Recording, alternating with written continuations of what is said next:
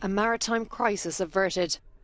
A Stena Scandica car ferry packed with hundreds of passengers has docked at the Swedish port of Nynäshamn after drifting for nearly 24 hours without power. The electric failure was sparked by a fire which broke out in a refrigerated unit below deck. While the flames were quickly extinguished, the vessel began to drift towards Gotland Island and risked running aground. The crew sounded the alarm and several families were evacuated by helicopter, but rescue teams say they were forced to call the mission off before nightfall. The Swedish Maritime Administration says the crew managed to restart the engines and sail back to port at a reduced speed. An investigation into the fire is underway.